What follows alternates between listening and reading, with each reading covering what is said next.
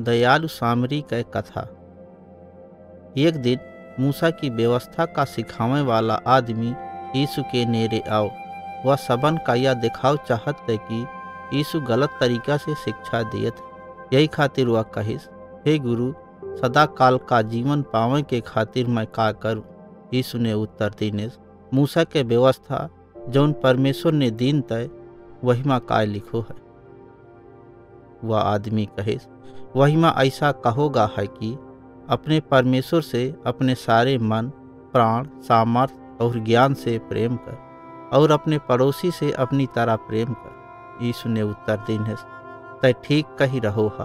अगर ते ऐसा करस तो तुहका सदा काल का जीवन मिल जाई लेकिन व्यवस्था का सिखावे वाला आदमी लोगन का यह दिखाव चाहते कि वही के जीवन जिए का तरीका ठीक यही खातिर वह यीशु से पूछिस ठीक है तो मोर पड़ोसी कौन यीशु ने वह व्यवस्था के सिखावे वाले आदमी का एक कहानी सुना के उत्तर देने एक यहूदी आदमी रहा जब एक सड़क से हुई के यरूशलेम नगर से एरिहो नगर का यात्रा कर रहे थे लेकिन कुछ डाकुओं ने वह का दिखे और वह पर हमला कर दीने हुई वह का सबे कुछ ले लीनन और वह का मारेन पीटन तथा अधमरा छोड़ के चले गए।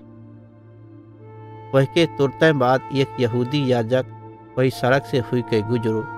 वह याजक ने वही आदमी का सड़क पर पड़ा हुआ दिखिस।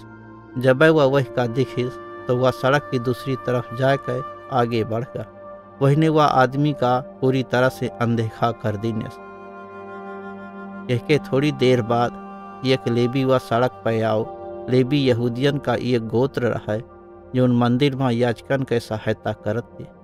वह लेबी भी अधमारा पड़े आदमी का दिखिस और देख कर सड़क की दूसरी तरफ़ से निकल गया।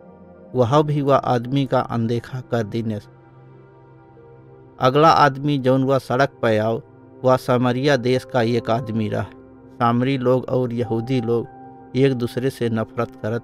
फिर भी वह सामरी आदमी ने जब सड़क पर पड़े वह यहूदी आदमी का दिखिस वही माँ बहुत तरस खाइस तब बहन वहाँ के नेरेगा और वही के घावन माँ पट्टी बांधे फिर वह सामरी ने वह आदमी का अपने गधा पर डारेस और वह का वह सड़क से राहगीरन के रुकन की जगह माँ लग गया, जहाँ पर वह के देखभाल करब जारी रखिस। अगले दिन वह सामरी का अपनी यात्रा का जारी रखने की ज़रूरत रहा। वह वही राहगीरन के रुकन की जगह के मालिक का कुछ पैसा दीने वह वैसे कहिस यह आदमी का देखभाल करे।